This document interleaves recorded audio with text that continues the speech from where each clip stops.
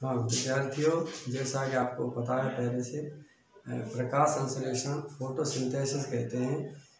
हरे पेड़ पौधे अपना भोजन बनाते हैं स्वपोषी पौधे होते हैं।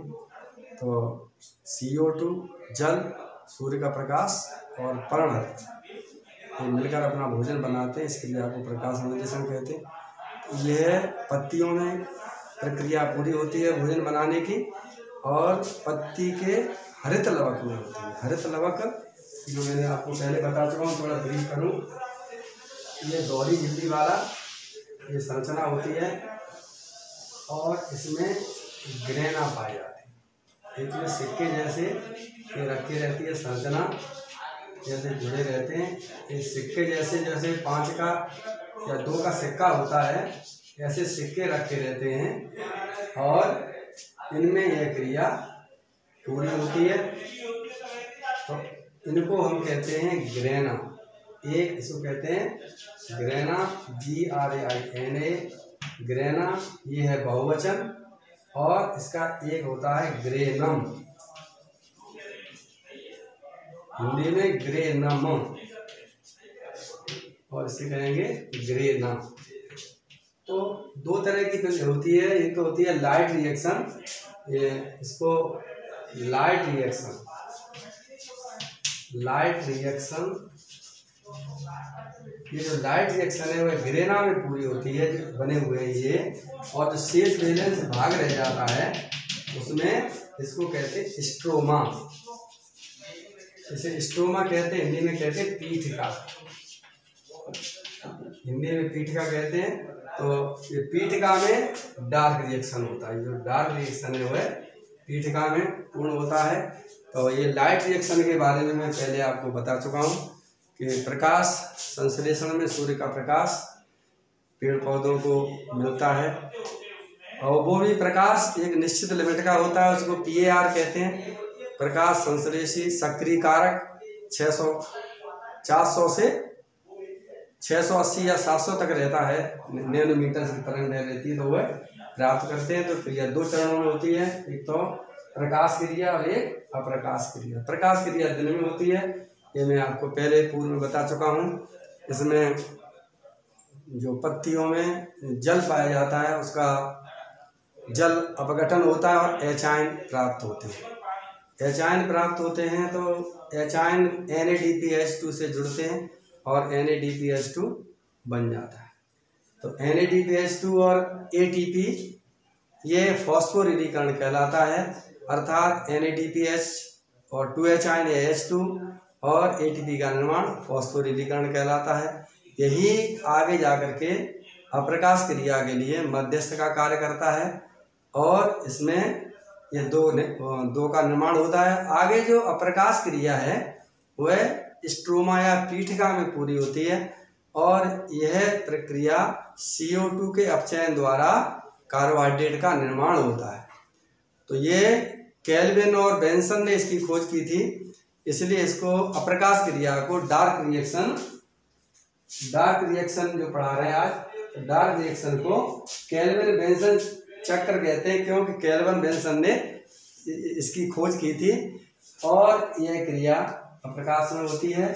इसके जो चक्र है इसमें सीखरी चक्र भी इसको कहते हैं, क्योंकि इसमें बनने वाला प्रथम स्थायी यौगिक तीन कार्बन वाला पीजीए होता है फॉस्फोग्लिसरिक एसिड होता है। इसको फॉस्फोग्लिसरिक एसिड कहते हैं PGA phospho glyceric acid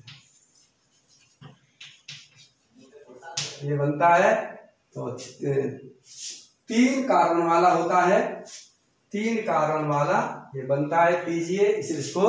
C चक्र भी कहते हैं और कैलविन बेंसन ने खोज की थी इसको कैलविन बेंसन चक्र कहते हैं। तो समझे इसको। इसमें क्या होता है? सीओ टू का अपचयन होता है और ग्लूकोज का निर्माण होता है। पुनः सुने इसको सीओ टू के छह मॉलिक्यूल और H2O के छह मॉलिक्यूल दोनों चक्र में शामिल होते हैं। और ये कार्बोक्सिलेशन पहले से R U B P ribulose one one five bisphosphate या डाईफॉस्फेट ये दोनों चक्र में मिलते हैं। तो पहला CO2 और H2O मिलकर के पीजीए का निर्माण करते हैं। यह फॉस्फोग्लिसरिक अम्ल है, तीन कार्बन वाला है। इसलिए इसको सी थ्री सी थ्री कहते हैं इसके नाम के आधार पर। इसमें क्या होता है? इसके बाद पीजीए बनने के बाद इसका फॉस्फोरिलीकरण होता है हिंदी में। अंग्रेज़ी में फॉस्फोराइलेशन कहते हैं। इसमें वन थ्री डाई पीजीए का निर्माण होता है बारह मॉलिक्यूल लेकिन यहाँ पर एक एक प्रक्रिया और है। इसमें ट्वेल्व एटीपी और क्या होता है? ट्वेल्व एडीपी और पीआई में कन्वर्ट हो जाते हैं, माने ऊर्जा मुक्त होती है और एटीपी एडीपी में बदलता है, ये यहाँ पर स्टेप है और वन थ्री डाई पीजीए का निर्माण होता है। One three di phosphoglyceric acid का निर्माण होता है, ये बारह मोलिक्यूल यहाँ पर बनते हैं। इसके बाद यहाँ पर ये रिडक्शन की प्रक्रिया होती है, इसको अपचयन कहते हैं।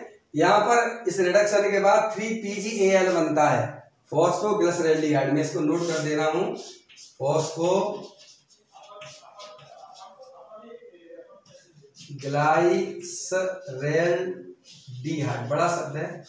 हिंदी में इसको यूँ कहते हैं।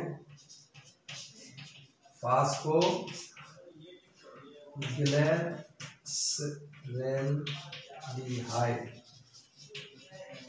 ग्लेसरेल्डिहाइड ये रिडक्शन होता है और 12 NADPH और ये अपचयन हो जाता है इसका किसमें?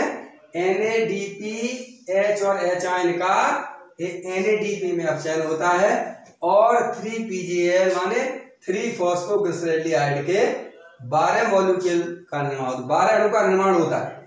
ये आगे चल करके ये थ्री पीजीएल माने पुनः दो मॉलिक्यूल क्या करते हैं इससे चक्र से बाहर आते हैं और ग्लूकोज का निर्माण करते हैं। जो आवश्यक है, मुख्य प्रोडक्ट ग्लूकोज होता रहता है, चक्र चलता रहता है और ग्लूकोज बाहर निकलता है, ग्लूकोज से सुक्रोज बनता है, सुक्रोज से स्टार्च बन जाता है जो पेड़ पौधों का स्टोर्ड के, स्टोर किया जाता है। ये आगे क्या होता है? थ्री पीजीएल पुनः ये फाइव जाइलोर फॉस्फेट में बदलता है। चार मॉलिक्यूल और फाइव राइबलोज फॉस्फेट के दो मॉलिक्यूल ये मिलते हैं। और यह आर यू बीपी ये पुनः उत्पत्ति होती आर की पुनः उत्पत्ति होती है। क्योंकि ये आर यहाँ पर पुनः सक्रिय होगा। आर की उत्पत्ति यहाँ से होगी। Five xylulose phosphate four molecule और ये ये वाला फाइव राइबोस फॉस्फेट ये आर की पुनः उत्पत्ति होती है। यहाँ पर पुनः उत्पत्ति रिप्रोड्यूस लिख रहे हैं, पुनः उत्पत्ति। पुनः उत्पत्ति हो जाती है। और ये फिर आगे जाकर के जो चक्र आगे बढ़ता है तो राइबलोज फाइव मोनोफॉस्फेट में छह मॉलिक्यूल बनते हैं। फाइव राइबलोज फाइव मोनोफॉस्फेट के सिक्स मॉलिक्यूल बनते हैं। यहाँ पर पुनः फॉस्फोरिलीकरण की क्रिया होती है, पुनः फॉस्फोराइलेशन होता है। हिंदी में कहते हैं फास्फो रिलीकरण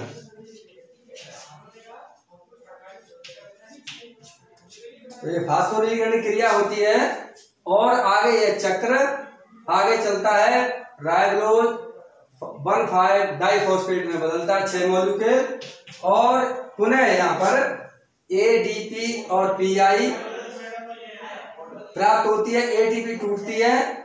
जैसे पहले यहाँ पर हुआ है ट्वेल्व एटीपी ट्वेल्व एडीपी और पीआई में ऐसे यहाँ पर six AD six ATP ADP पुनः रिपीट सेंटेंस क्लियर हो जाए। एडिनोसिन ट्राइफॉस्फेट एक एटीपी ऊर्जा होती है। यह ऊर्जा वैसे माइटोकॉन्ड्रिया में संचित रहती है, इसलिए माइटोकॉन्ड्रिया को power house of the cell कहते हैं। तो ये ATP adenosine triphosphate ADP adenosine diphosphate में टूटती और ऊर्जा मुक्त होती है। तो ये दो भाग है इसमें। तो ये सिक्स एडीपी बने हैं और ये क्रिया आगे चलती है। तो राइबोलोज वन फाइव डाइफॉस्फेट का निर्माण हो जाता है। पुनः यहाँ पर एक कार्बोक्सिलीकरण होता है।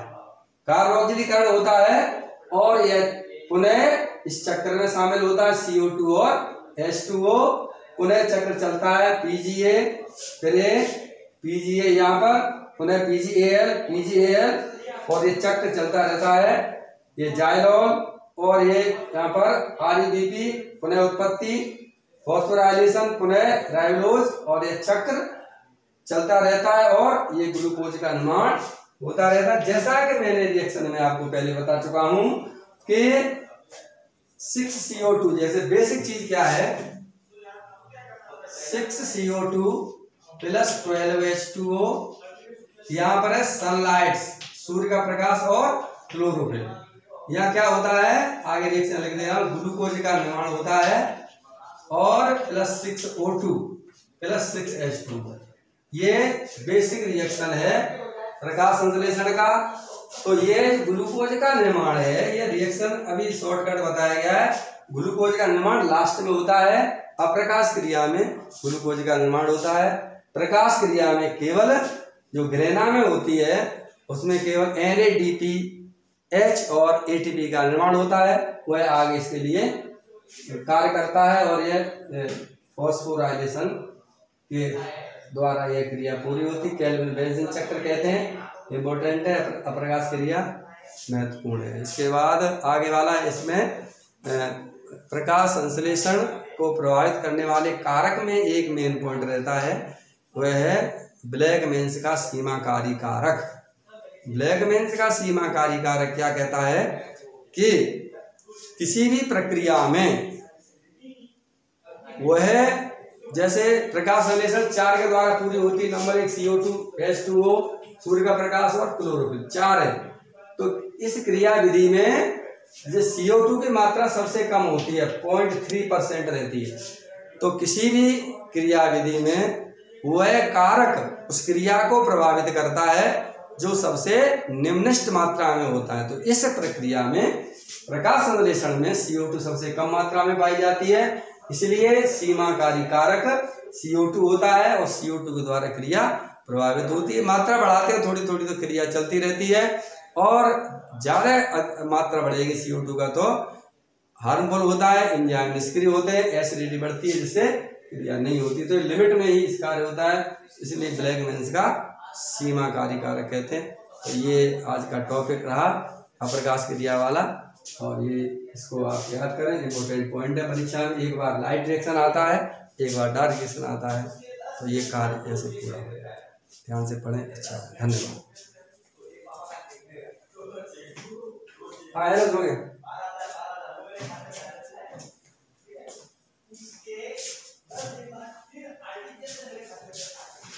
हो गया।